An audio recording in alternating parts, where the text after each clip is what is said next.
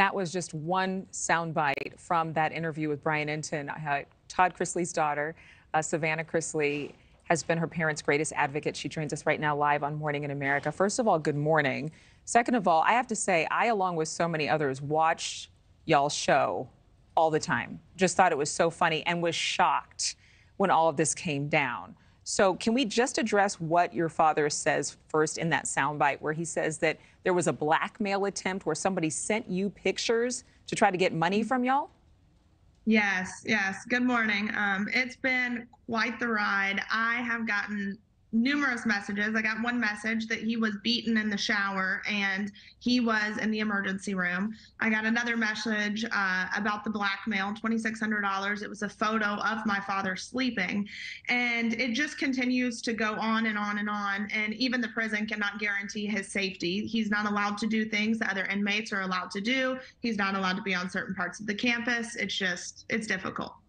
In terms of the conditions inside the prison, when did you find out about this? How often are you talking to your parents? It's not just your dad, but your mom is also looking at pretty disgusting conditions, correct? Yes, that's correct. I speak to them every single day. Um, I've actually seen firsthand myself when I've been at visitation the conditions. I mean, the women's bathroom was flooded, the floors, you're walking in like in water to go to the bathroom. And this is just the visitor's bathroom. So I've also received information from correctional officers that work at my father's facility of photos and videos. There are bugs crawling on the walls. The food is expired a year past expiration.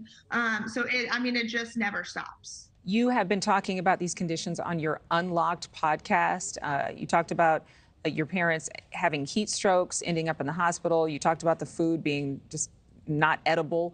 Uh, what exactly do you want done, or what can you do? What are you feeling empowered to do to change conditions inside? Because I'm sure there are a lot of people who are saying, prison's not supposed to be nice, it's not supposed to be glamorous.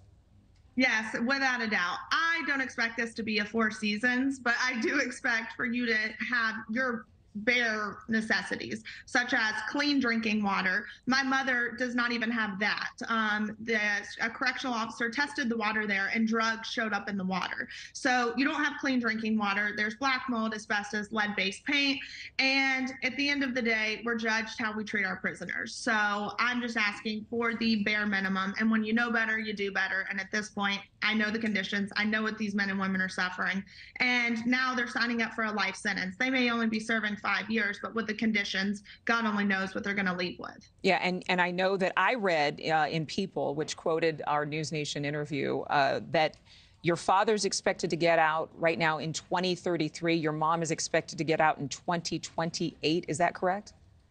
You know, I don't even pay attention to those numbers mm-hmm. because I'm trying to have faith in something bigger. We do have the ongoing appeal, which we were granted oral arguments in. Only 6% of cases in the 11th Circuit get granted oral arguments. So for that, that is a win for us. And that's what I'm looking forward to. So those dates mean absolutely nothing to me at this point in time. Well, you, y'all are a family of faith. I keep saying y'all, I can't help it. My grandfather's from Georgia, so you just bring it out of me there.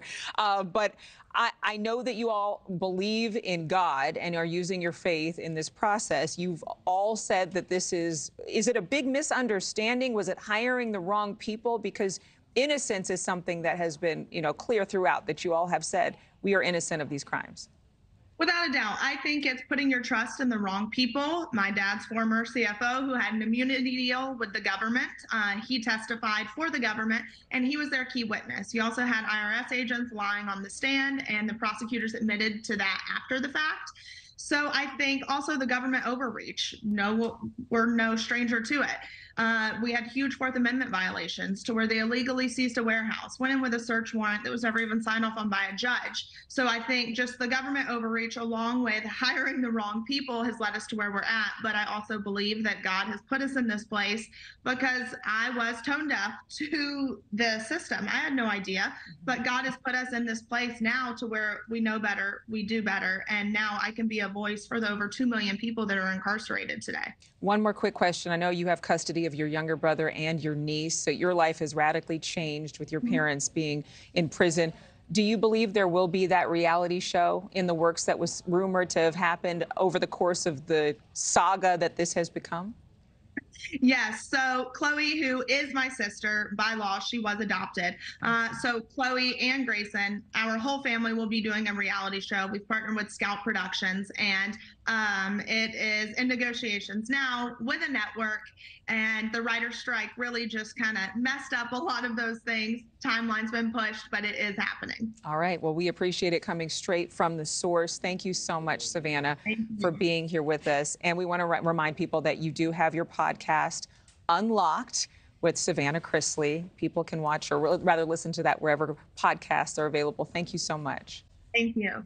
Thank you for watching. Go to newsnationnow.com to find News Nation on your television provider. And don't forget to click the red subscribe button below to get more of News Nation's fact driven, unbiased coverage.